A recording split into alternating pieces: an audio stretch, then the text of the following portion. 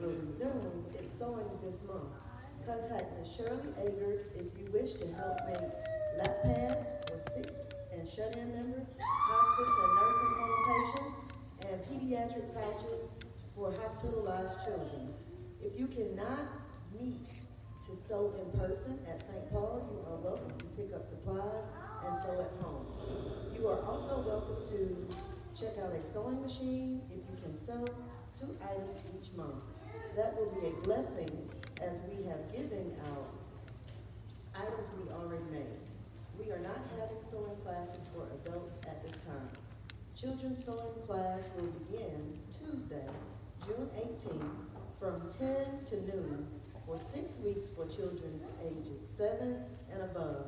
Children will learn to sew pillows for dialysis patients, bags for children, and other items. They will also sew something for themselves. See Sister Shirley Agers or Mrs. Rose Parkman to sign up for class.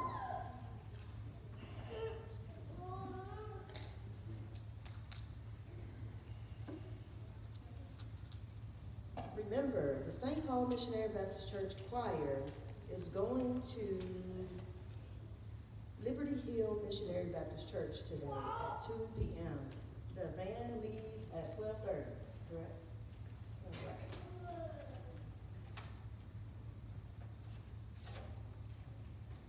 Thank you. Thank you, beloved. Let us love one another, for love is from God, and whoever loves has been born of God and knows God. First John four and seven. Thank you so much for the love that was shown to us during passing of our loved one. We are grateful for the calls, text messages, food donations. Thank you so much. May God richly bless you, the family of the late Leroy Darling.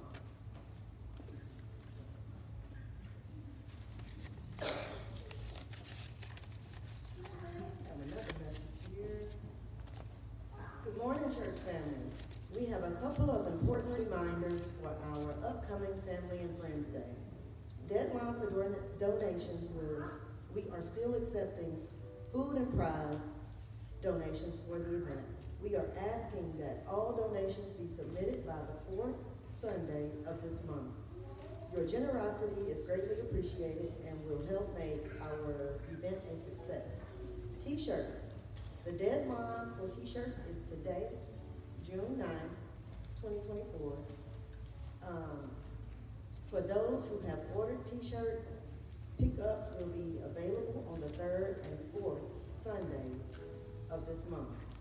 Please meet in the vestibule after service on those Sundays to collect your t-shirts. And as for today, Sister D said it's cash only. Today is cash only, cash or check.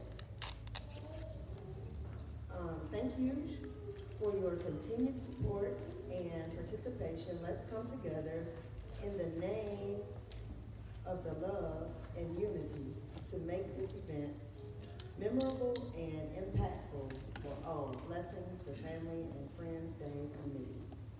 All right, so again, we need to pack the house on the fifth Sunday this month, on June thirtieth.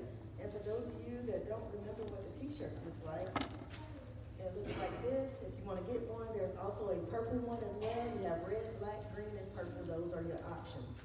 And in this Pack the House Family and Friends Day, we are having baking contest. There's a sign-up sheet in the back for that. Face painting, there's a sign-up sheet in the back for that. Bouncy houses, um, bingo, um, kickball. We actually have twenty-two people that have signed up for kickball, so thank you for those that have signed up for kickball. Um, we welcome more people to come and sign up for kickball. I will, uh, myself and William will, uh, divide the teams up equally. And, uh, we are excited about this event. All right, sorry about that. My word for this week is, it is never too late. Um, I say that because, uh, I'm forty-seven years old. I decided to enroll back in school to, uh, finish, finish out my degree. And, uh, I was a little nervous, um, actually, very nervous. And because I had to do everything online and, and I had to compact so many classes. I had to take four classes this summer. And my first class was a Maymester. Um, it was only three weeks long. Um, it was very intense, but I finished the class with an A. So, you know, never too late. You can do anything that you put your mind to. Um, pray about it, ask God to help you with it, and, you know, it shall be done. All right, so I hope you all have an amazing week this week, and be blessed. Amen.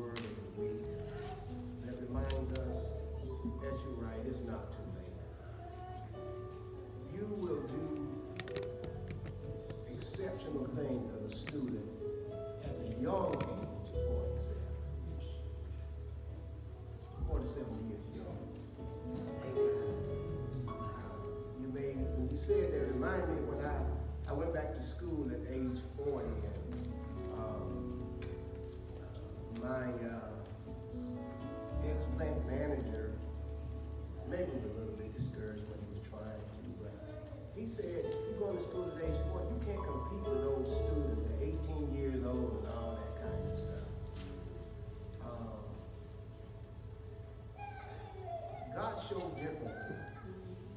Because at age 40 and age 47, you bring a different maturity level to the school. You know how to make your time count. Where they are distracted by so many things, you know your objective clearly. And you did that. And I commend you for what you did and for what you're doing. God bless you. And again,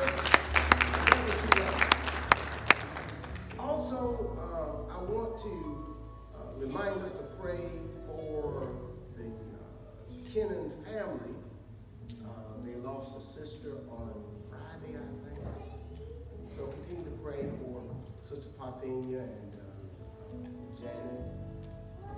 As uh, we're reminded again that death is still moving and it's a part of life. David said, said to Solomon, I go the way of all the earth. He said, but be strong and show yourself a man. It's a cycle that will continue to the consummation of the ages. Also, let me give a shout out to those two young ushers back there. Look at those boys. They, they, they are they are looking so good. Thank you. Thank you for being willing to work.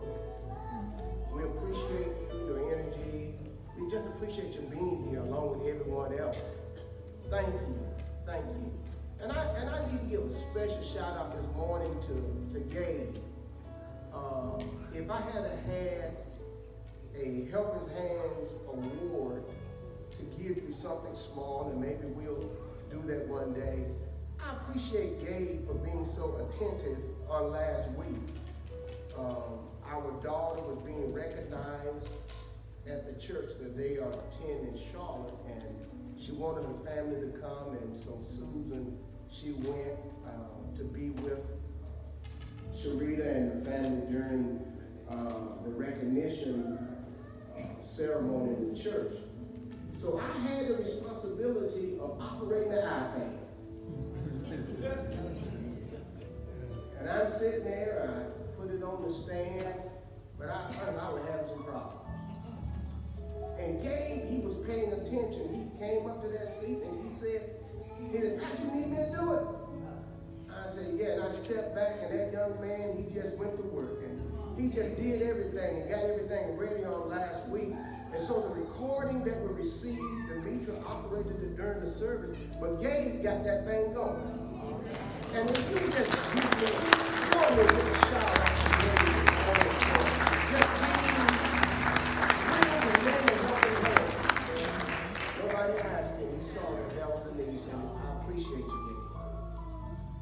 Lastly, let me thank, thank Dr. Roger Wilkes. If you would just stand here, be leaving tomorrow, going back to Seattle, is that correct? California. California. Thank you for sharing, and maybe you would like to say something this morning. I I put you on the spot, uh, but I want, I want to thank you for not forgetting about your community. I thank you for not forgetting about us.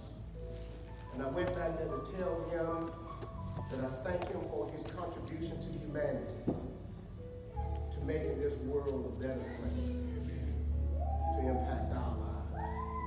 We are indebted to you, and may God bless you. Um, how can uh, people connect with you to watch your podcast, those kinds of things as you host them? You doing a weekly?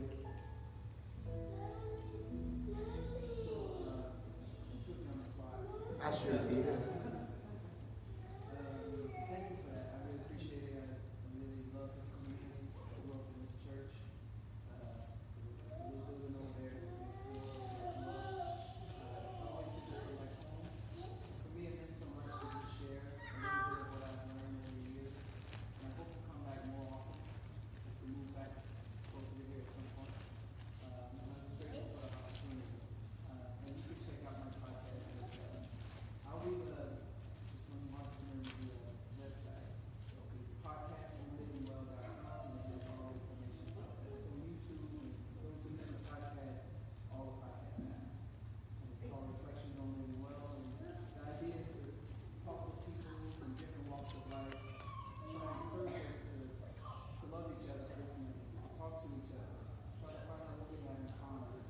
Uh, because there's lots of divisions in the world. We have to learn how to get bridges, and if we don't build those bridges, we're going to destroy our society, and we will very, very difficult for the future generations. Let's not, I'm trying my best, and I thank you for letting me. Bless you, Doctor. God bless you. Thank you. Thank you so much. Thank you so much. Amen. Uh, uh, in Sunday school, Brother Ray, he reminded us that the clock didn't wake us up this morning. God woke us up this morning. He said that the clock reminded us that we need to get up. and so, because God gave us grace to be here another day, uh, because he uh, saw fit that he would let us be a part of his day, we ought to give something back to him. We ought to worship him. Give him our all and our best today because he deserves it. So thank you all for being here. As we go into our worship service, remember that everyone should bring something to come uh, to participate in the worship as we come. And so the choir is going to sing, and we ought to make one big choir as we come to sing and worship the Lord. Let's pray, and the choir Father, we thank you for giving us another day. You, you, you spared our lives. You saw fit to, to wake us up, to let us uh, embrace a day that we have never seen before.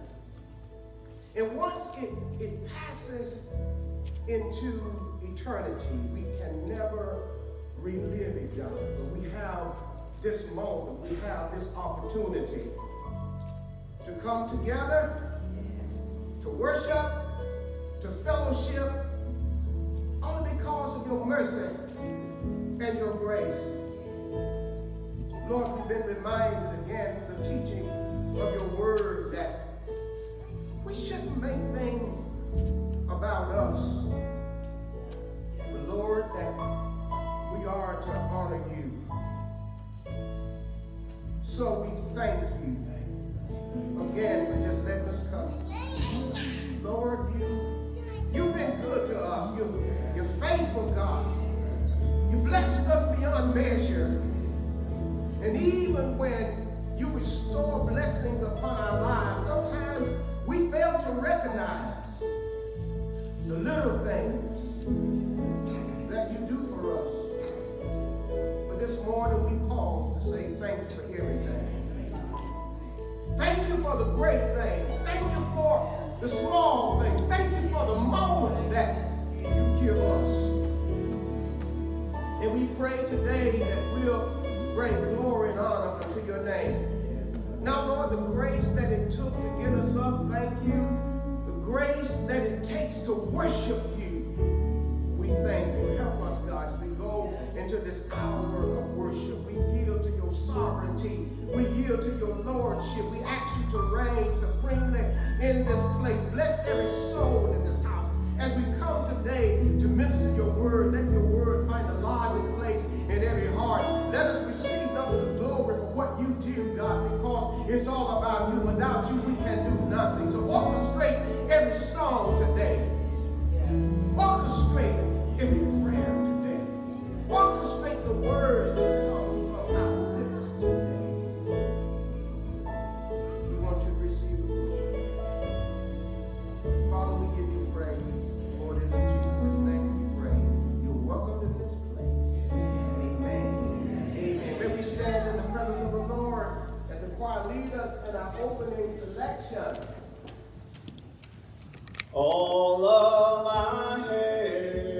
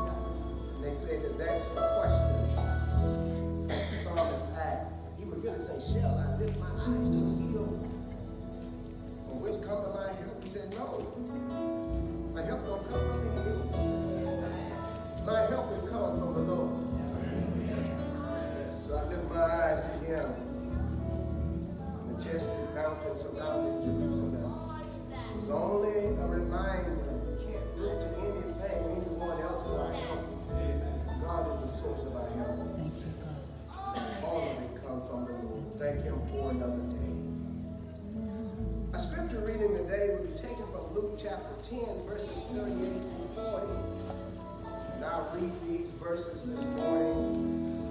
These are the passages from which uh, message will be taken. Luke chapter 10, verses 38 through 40. Reading from the New King James Version. And just keep your finger there because we'll return to it a little later. The Bible said, Now it happened as they went, he entered a certain village, and a certain woman named Martha welcomed him into her house. And she had a sister called Mary, who also sat at Jesus' feet and heard his word. But Martha was distracted with much serving. And she approached him and said, Lord, do you not care that my sister has left me to serve alone? Therefore, tell her to help me. Word of God for the people of God. We receive ministry again from our Lord.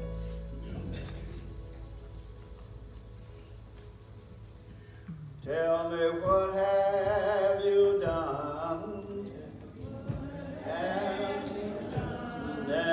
then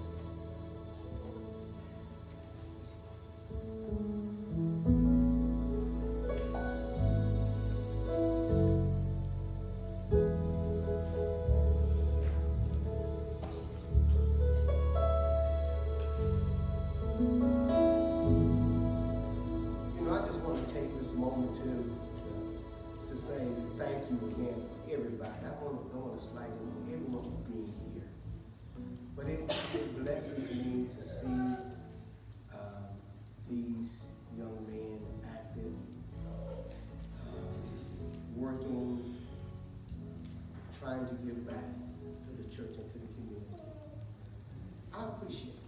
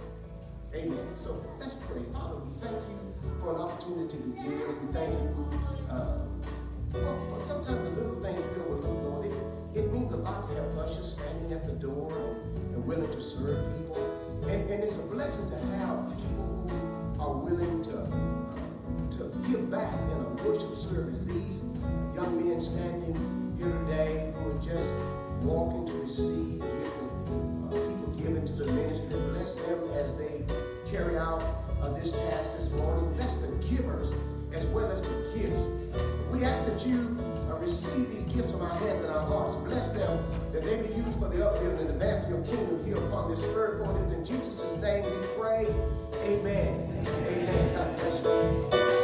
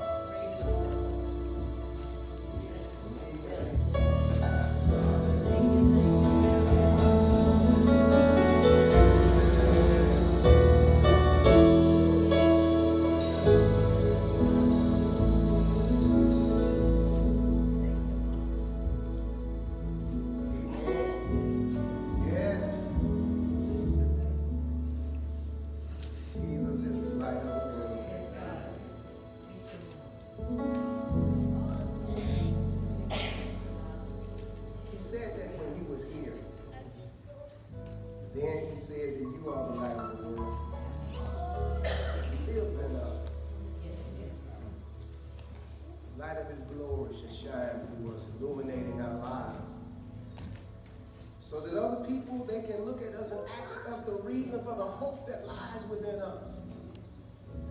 He's the light. God bless you again this morning. I read uh, Luke 10, verses 38 through 40, and I'll just read verse number 40 today. And when you, when you return home, you can read this story again in its entirety. I, I shared from this, I think, on the 17th of March, I believe. And so here we are at this place again today. Verse number 40, and Martha was distracted with much serving, and she approached him and said, Lord, do you not care that my sister has left me to serve alone? Therefore tell her to help me. I want to use this subject as somewhat lengthy this morning. And as simply as this, relieving the pressure from having so much to do. Relieving the pressure from having so much to do. All of us need to accept the fact that there will always be something to do. Because there is always something to do, many of us get stressed out. Because we seem to have more to do than we feel we can get done. Now, can I say having something to do is not bad? Amen. For, for I believe that when God created humankind, that his original plan was for humankind to have something to do. You go back to Genesis chapter number 2 when God had created Adam he gave him something to do. Genesis 2.15, the Bible says, Then the Lord God took the man and put him in the Garden of Eden to tend and to keep it. Though, though God gave man something to do in the beginning, he never intended for him to get stressed out because of what he had to do. Now, I, I, need to establish that God, He intended for humankind to have something to do. And so as it was with Adam, God never intended for us to get stressed out just because we have something to do. In other words, God does not want us to live stressful lives. You know, we, we get stressed because we feel that we always have something to do. But stress is not only created from the thought or even the reality that we always have something to do. We can become stressed out because we allow ourselves to become anxious, dealing with anxiety. We worry about things, and the more we worry, the more we stress. And can I say it again that God never intended for us to live stressful lives?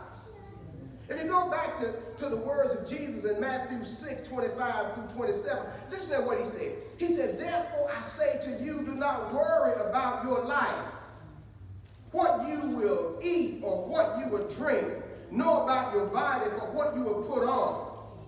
Is not life more than food and the body more than clothing?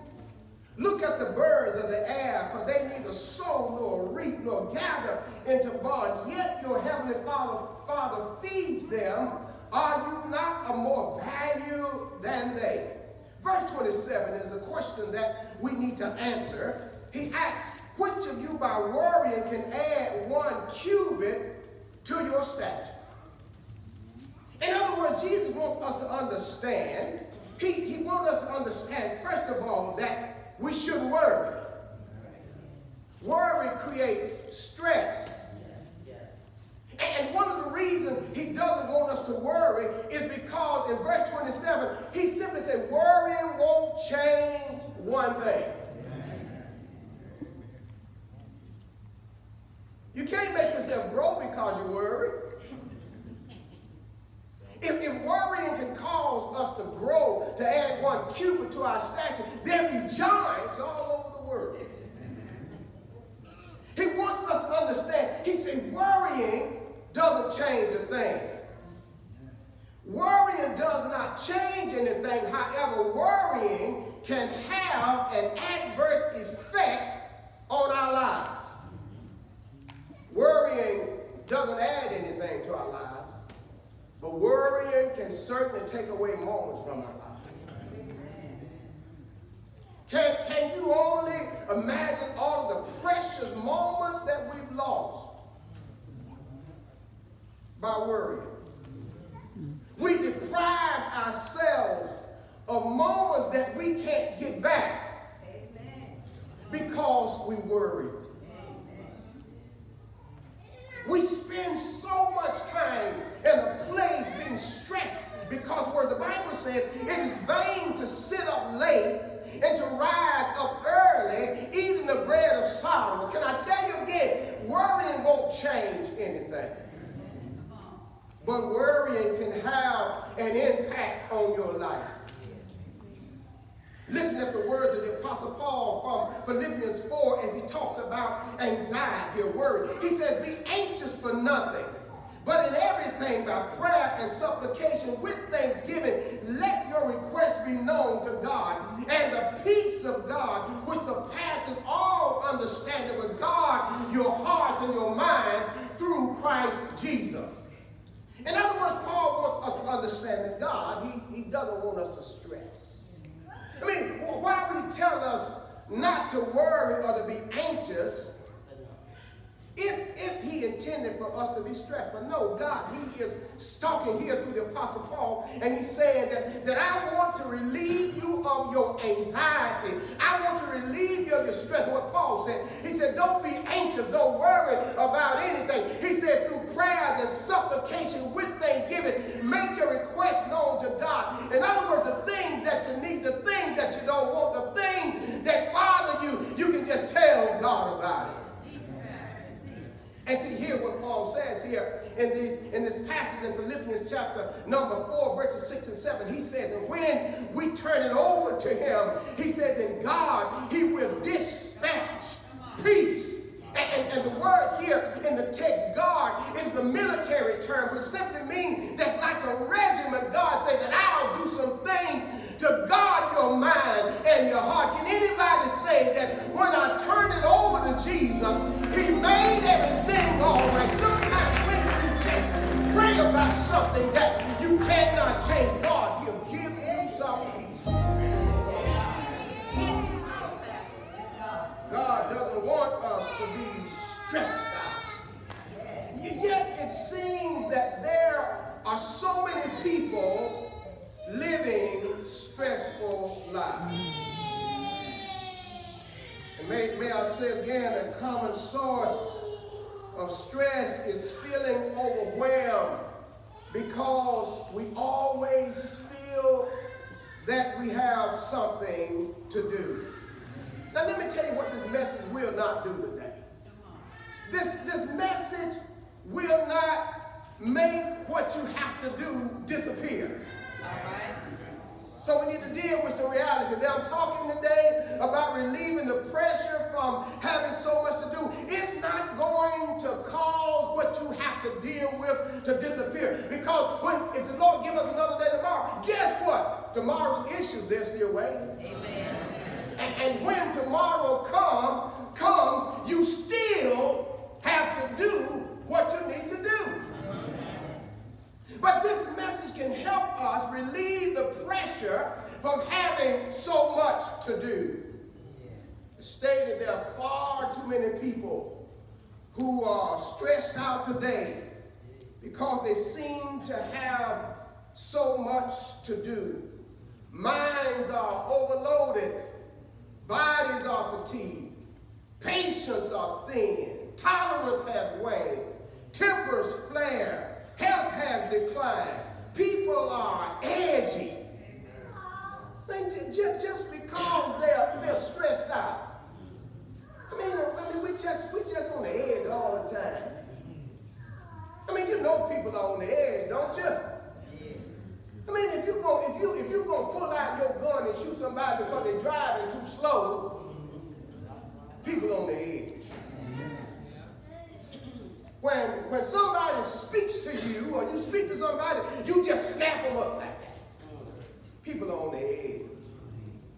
People, people are edgy. It's like there's a nervous tension that's built up, that's waiting to be released. All because people are stressed out. And one of the causes of the stress is people feeling that they have too much to do. I wonder how many of us feel as if there's not enough time in the day to do everything we need to do and like to do. Sometimes you come to the end of the day and, and see that you still have some of the, you want God to lengthen that day. Well, maybe you don't. Maybe I'm tired of this tail. I'm ready for to come in. Because we have so much to do. It just doesn't seem as if there is enough time in the day. Do any of you feel that your plate is full because you have so much to do? Maybe some of you have graduated from a plate and now you got a platter because there's so much you're loaded down with things that you need to do. And they're not only things that you need to do, but things you would like to do. You have so much on your plate. Am I talking to anybody today? Because it's a reality check that all of us will have something to do, and, sometimes it gets to be overwhelming when we look at everything we have to do, and it doesn't seem to be enough time in the day. As I stated, when you finish one chore, there's another chore waiting. You get one thing done, only to discover there's something else that needs to be done. You mark one thing off your list, only to add something on when you take the one thing off. You fix one thing, and something else needs fixing. I mean, listen, listen, the laundry list, it goes on and on, and there seems to be no end in sight. People are dealing with pressure. They seem as if they're ready to implode because they just can't handle it. You know, home ownership is a great thing. And, and I thank God for, for each person who desires to, to achieve home ownership and you, uh, you know, obtain that. But, but can I tell you this one thing about home ownership? As long as you got a house, some of you know what I'm talking about. As long as you have a house, you always have something to do. Listen, the grass and it grows back. You, you, you go into your house, you stain the deck, and then it fades. You paint the house, and the paint just peels. You wash your clothes, and they get dirty again. You clean the house one day, only have to get up tomorrow and do the same cleaning all over again. Sometimes if we are on this merry-go-round of life and it never gets off, or you can't get off. You know, now, now some of y'all, now y'all know, some of y'all went to the fair when you were children and, and uh, you rode the merry-go-round and I was talking to someone, I think it was Derek, asking about going to Carowinds, riding stuff. Uh-uh. If I go to Carowinds, I'm riding the merry-go-round. That, that other stuff, that's not for me. But, but when you're on the merry-go-round, you see the same scenery over and over again. You're one of them horses that goes up, down, up, and down, and you can't get off until they stop. Sometimes life is like this, where, where it seems as if there's always something to do. This endless cycle can cause pressure that we don't know how to deal with. And unless we relieve the pressure in a healthy way, we will succumb to the pressure. Pressure can drive people into places of isolation. Pressures can cause people to think unhealthy thoughts. Pressure can create a distorted picture of reality. Pressure can cause people to forge unhealthy alliances. Pressure can cause people to give up. Pressure can cause people to walk away from something that they should have stayed close to. Pressure can cause people to adopt unhealthy vices. You see, and we must learn how to deal with the pressure. There's some people are in bad places, not because they wanted to be there, they just couldn't handle the fact that there was so much to do. It drove them to a place where they adopted unhealthy vices. And before we began to look and think about all of the unhealthy vices that we as a church deem to be unhealthy, there are a lot of unhealthy vices that we pick up right in the church because we don't know how to deal with the pressures of life.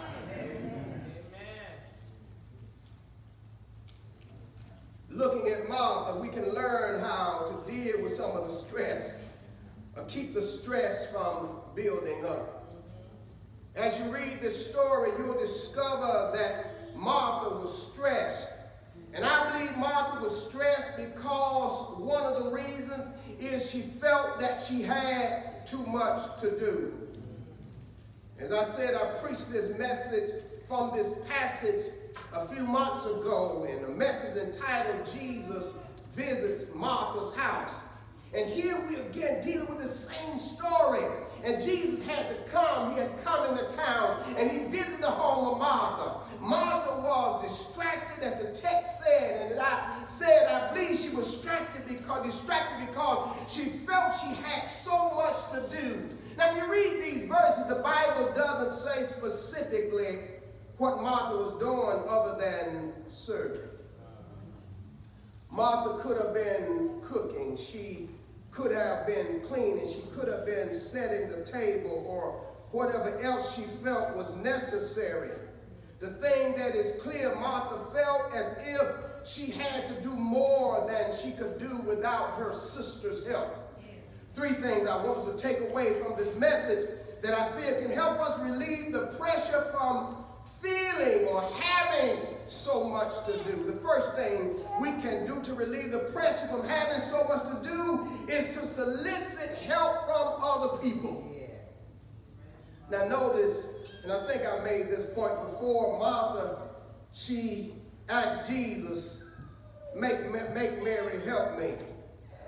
And there's no indication that she asked Mary herself, Mary, will you come and give me a hand? Don't you know that when we have more than we can do, we need to check our support system. We need to look around and see who can help us. And, and can I tell you, if you're drowning, don't drown if you can ask for help. You know, if there's someone who can help to alleviate some of the stress, the load, you ought to be, you don't have too much pride to ask people for help. And sometimes we feel that it is beneath us to ask people for help. We can be drowning if we want people to think that we've got everything to, together and we don't need anybody, but all of us need someone sometimes. You know, I, I said, most of y'all know I like to write cartoons. And I've been that way since a child. I don't like this new stuff, but that old stuff, I love that old stuff. My brother used to get mad at me and say, we want to play football, and Bobby didn't want to watch Bugs Bunny. you know, but I, I, I enjoy some of the simple things in life. But but even on the cartoon, when they were drowning, they, they would least do this. Sometimes they'd be going down there do. Then they do. Then they do. They say, you come help me. But what happened to us? We've gotten to a place where we feel like it's beneath us to ask other people for help. If you need help, ask someone, will you help me? Martha didn't ask Mary. Martha, Jesus, go make Mary help me. And I don't know if she had asked Mary on another occasion. Mary said, no, you do it. I don't know what might have been. But when you need help, then ask for help. Now I want to give a footnote here and listen to this carefully. I need to add this footnote to those who can help. The footnote is this. If you you shouldn't have to wait for someone to ask you for help when you know they need help. I don't know who say said it again, but I'm going to say it again. You know, and, and, and really, listen, it is good. Listen, if you have the ability to help someone and you see they need help, don't sit around and wait for them to ask for you to help. You need to jump in there and help them. I mean, John, John said, how can you have this world's good and shut your bowels of compassion to those who have need? You can help them, and then you talk about the love of God is in me how much I love for them. I mean, John teaches something is wrong with that picture. If someone needs help for you and you can from you and you can help them and you won't help them, he says, how can you talk about how much you love somebody? Moses didn't ask Aaron or Hur to help him. When Joshua was battling against uh, Amalek, Exodus 17, verses 10 through 12, the Bible says, so, so Joshua did as Moses said to him, and he fought with Amalek. And Moses and Aaron and Hur, they went up on the hilltop. And as it was so, when Moses held up his hand, the, the, the Israelites prevailed. And when he let down his hand, Amalek prevailed. Hmm. Verse 12, the Bible said, but Moses' hands became heavy. Hmm. So they took a stone and they put it under him, and he sat on it. And Aaron and Hur supported his hand, one on the one side and the other on the other side. And his hands were steady until the going down of the sun. You know the story. You know the picture here. Moses tells Joshua, you going out and you, you battle against Amalek, and I'm going on the hilltop. And Moses got there. He was watching the battle. And every time Moses puts his hands up, the Israelites started to prevail. But you know, no matter who you are, no matter how much anointing on your life, every now and then you get tired. You see, God calls people to the work of ministry, but what he did not do, he didn't make them superhuman. In other words, no matter who you are, you need help sometimes. And Moses on the hilltop, he holding up his hands, and Israel were prevailing. His hands got tired, and Moses' hands started to fall down. Moses didn't have to ask Aaron and Hur for help. They saw that he needed help. So they took a stone and they put it on him. And then one got on one side, the other got on the other side. They held Moses' hands steady until the battle was fought and the victory was won. Sometimes, my brothers and sisters, we need to join in with folk when they're working on the front line and we see that they're tired. They're doing what they can do and they get weary on the journey. You ought to try to lift them up sometime and help them so the battle can be won. We can do more to help than we're doing.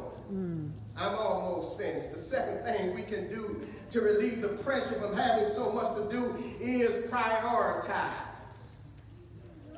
You see, we must come to a place where we realize what is most important. And then we need to accept the fact we can't do everything at once. Now, I, I think I heard this somewhere where they said that if everything is important, nothing is important.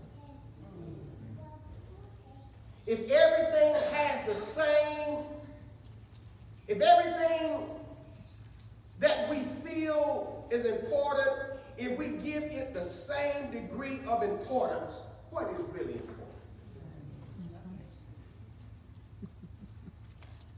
We, we, we need to learn how to prioritize.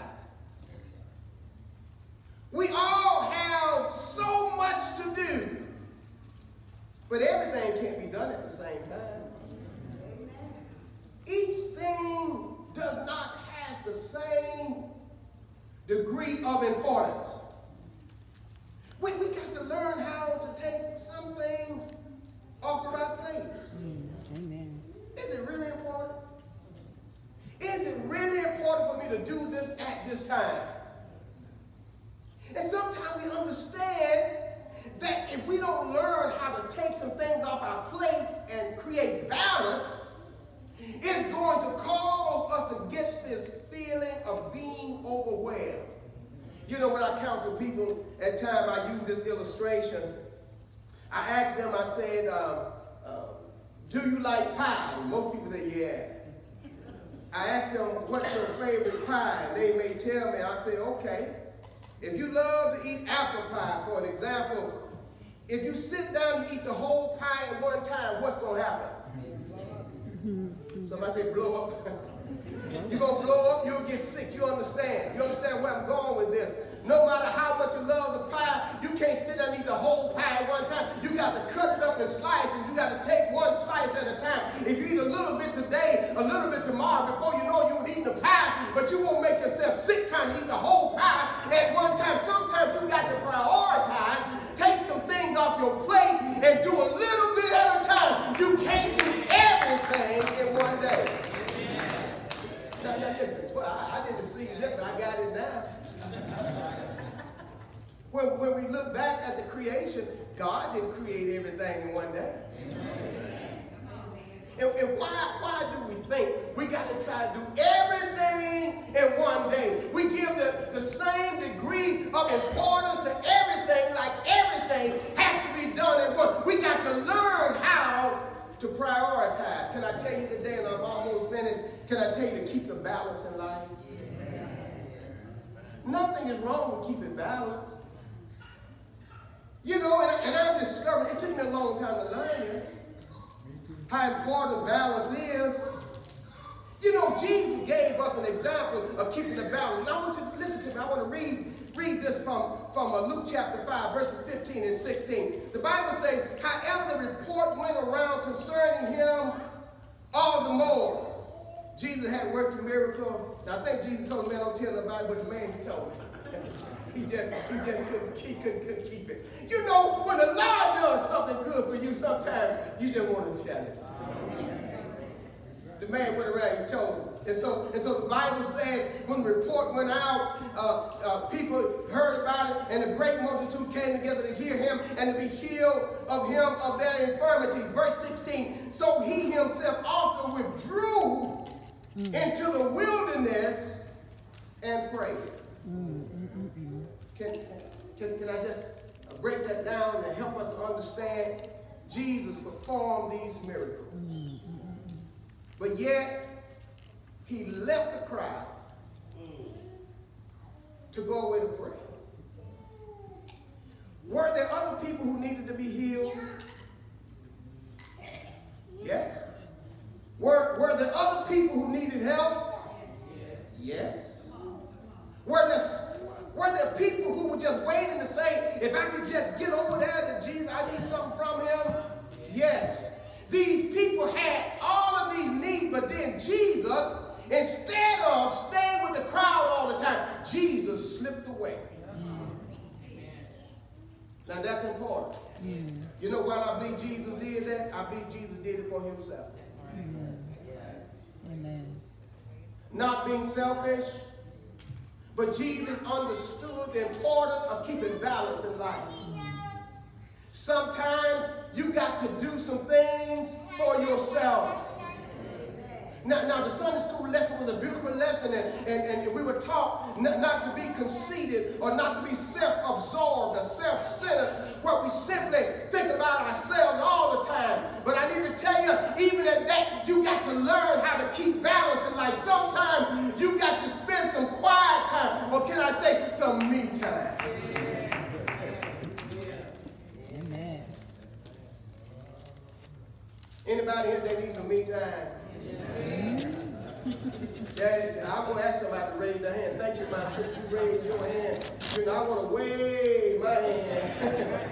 you know, because I'm learning how to keep the balance of life. You know, I enjoy the simple things in life now. And I get up early in the morning. One time I get up all day to go and pray and, and, and sometimes to read the Word of God. But when the sun comes up, my wife might find me outside. I'm just walking around in nature because I need to just get out in that quiet place and enjoy what I see and enjoy God. Sometimes you got to get yourself, some meantime you got to slip away from the crowd. Jesus knew that all this work still needed to be done, but Jesus got away so that he could pray. Sometimes you got to do something to sow into your own life. You got to build your own spirit, man. You got to find a place where you can have some peace and quietness because when you come back, it still will be something to do.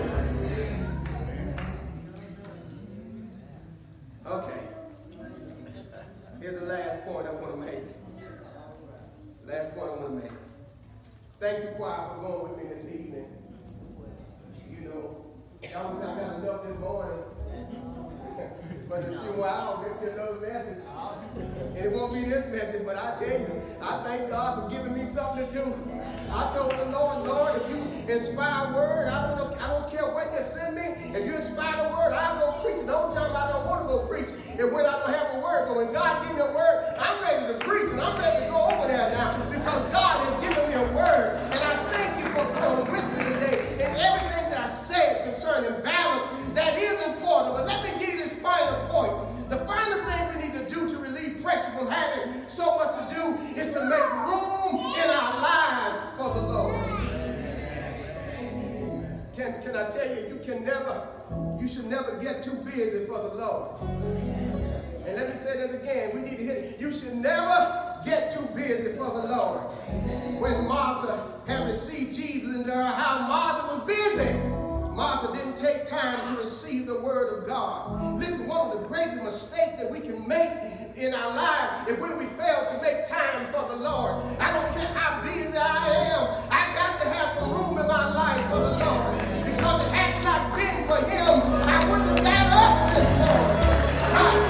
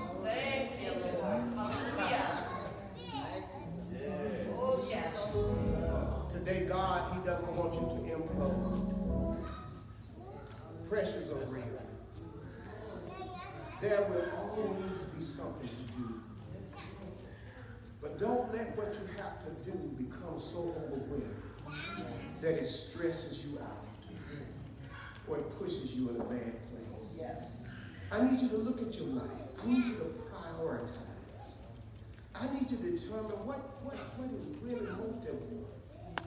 Everything can be important, but everything cannot have the same degree of importance. Make a decision about some stuff. You know, I wish, you know, if I were, if I were teaching this message in a different setting and I shared that in noon Bible study, I would talk about a whole lot of other things. Because sometimes we can try to add so much into our lives that we create our own pressures. Yes, yes.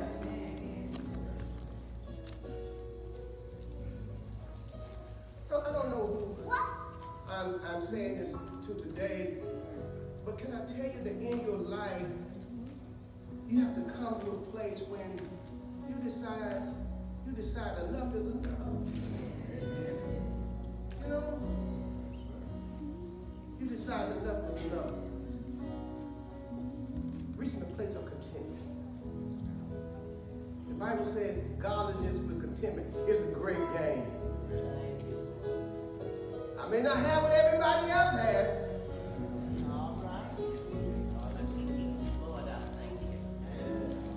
But I'm happy.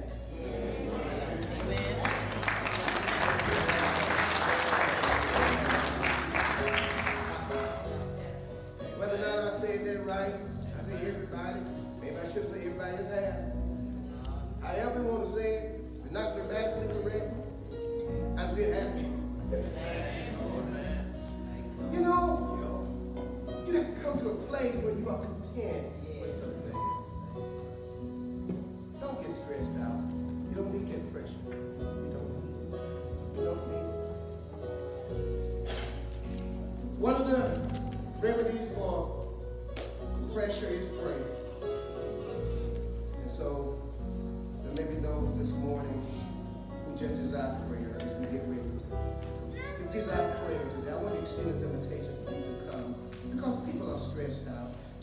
so stressed sometimes you come to worship, you can't be free.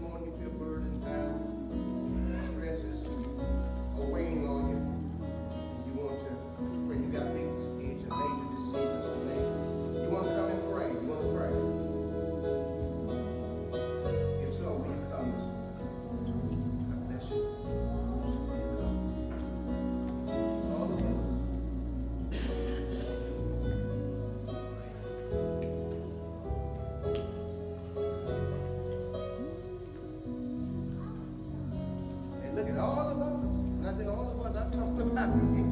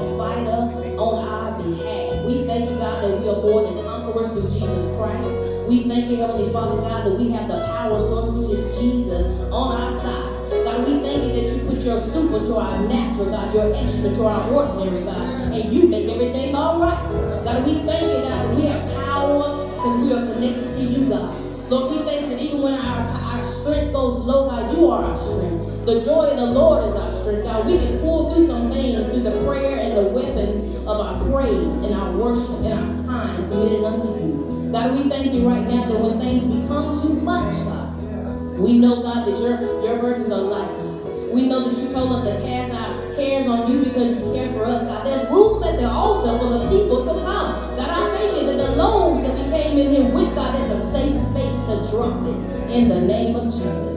God, I thank you for my brother, my sister that came heavy, didn't know where the drop sign was, but God is here right now. As the people stand at the altar, men, women, boys, girls, I thank you that you hear every silent cry.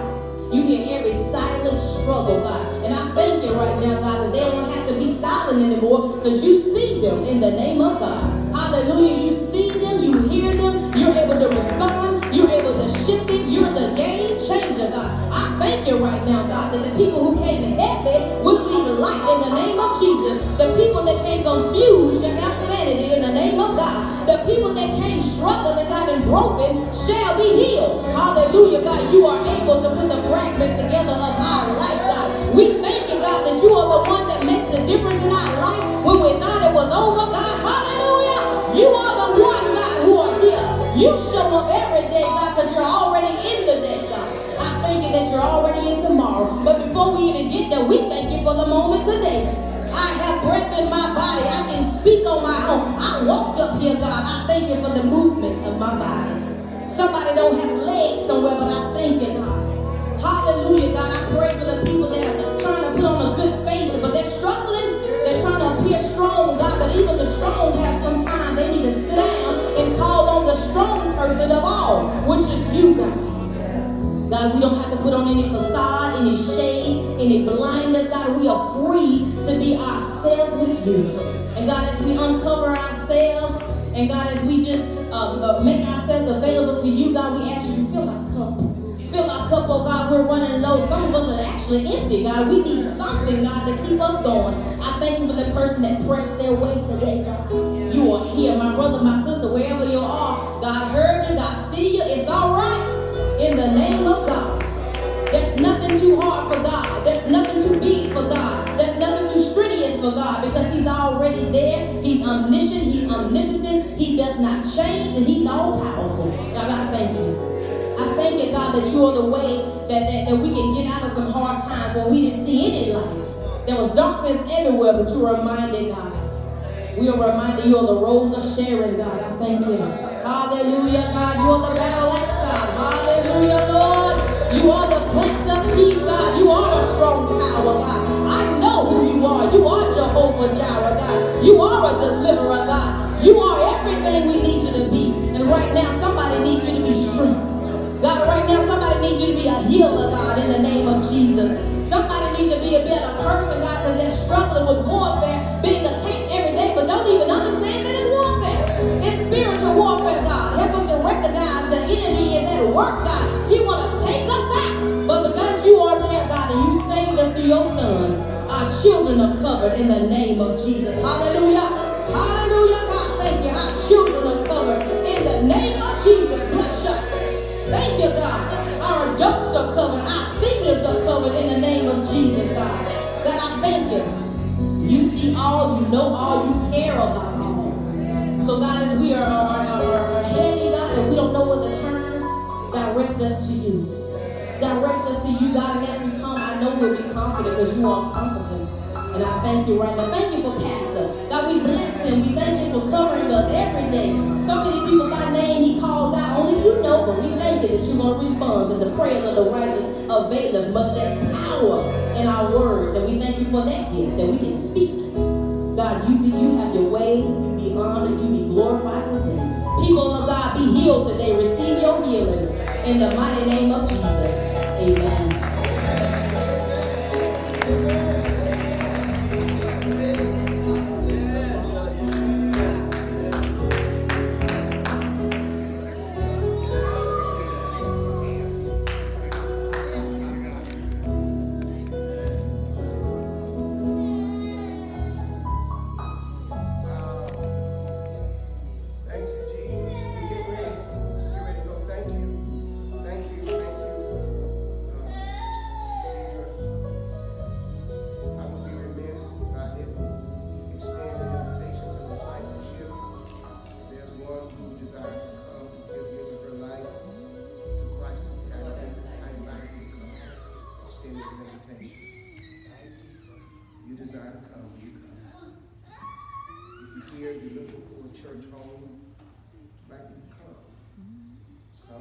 be a part of a group of people working